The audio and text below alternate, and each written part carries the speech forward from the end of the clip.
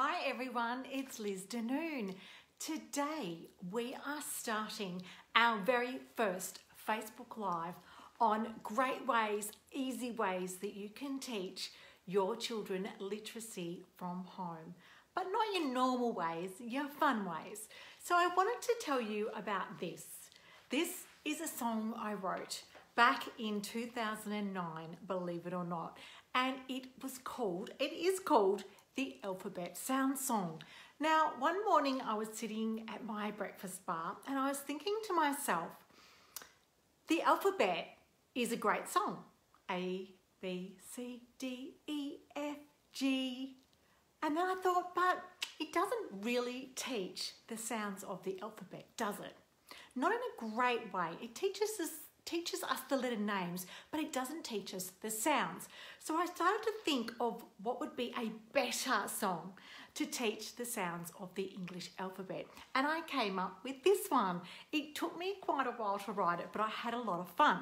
So what I thought with my first lesson today is I would go through the words of the alphabet sound song, then I'm going to post them underneath this video so you can go back and you can look at them with your own children and you can also, I'm going to also put a link in to me singing it so you can get that. And if there's any musos out there who would like to help me produce this song professionally, I have talked about it so many times, but I haven't actually done it. I would love to have you contact me and let me know what your thoughts are. So let me say it to you first. So it's called the Alphabet Sound Song for obvious reasons. It's the alphabet and it's the sounds of the English language. So it goes sounds, sounds in every word I read. Can you teach them to me at double lightning speed? And then it goes A says ah, B says b, C says k, and also says s. D says d, E says e, and F says f. Next goes another chorus. Sounds, sounds in every word I spell. I will get to know them so I can do it well. G says g. G can say j. H says her. I says e. J says j. K says k. And CK says k. Next chorus. Sounds, sounds in every word I write. I don't want to fight to have to get it right. L says all. M says mm. N says mm. KN says N. O says O. P says P. And PH says. Sounds, sounds in every word I say. Knowing all my sounds helps me each and every day. QU says qu. R says r. S says s. S says. I'm getting confused. SH says sh. T says t. TH says th. And U says ah. Sounds, sounds in every English word.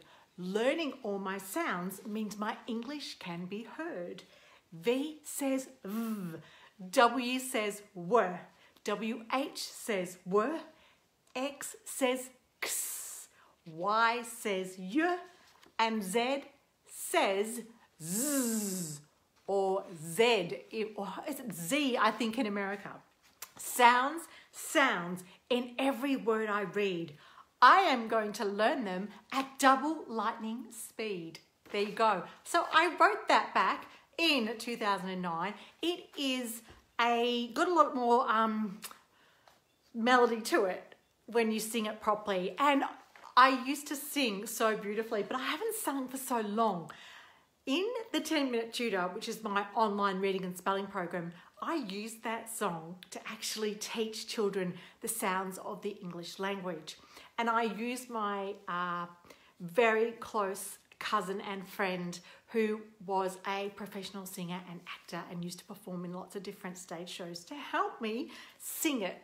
So, um, thank you so much for that lovely comment. So, there you go. I am looking forward to one, putting that up, all the lyrics for you, so you can teach that to your children. Two, I'm also going to put a recording up underneath this video so that you can see all of the um, ways it can actually be used. And hopefully, one of you out there is going to help me to produce professionally with a beautiful voice. Maybe, you know what I'd like to do? I'd like to do a rock and roll version.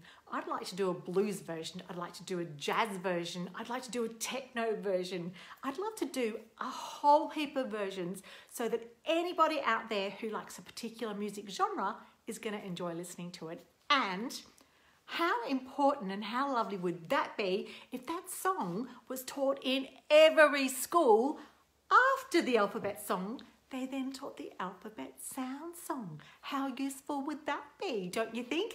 Anyway, that is today's lesson. Tomorrow, there's more coming your way about fun ways to teach your children. And you might be thinking to yourself, gee whiz, that's pretty basic, just teaching the sounds of the letters of the alphabet. But can I tell you, there is a lot of people, I don't want to say a figure, I was going to say 10%, but I know 10% of our adult population are illiterate. And there's a lot of people out there who do not know their alphabet. They cannot say their alphabet A through to Z. So you might think it's really easy, but for many people it's not. So that's why songs like the Alphabet Sound Song are so important. And of course, we've got to make learning fun.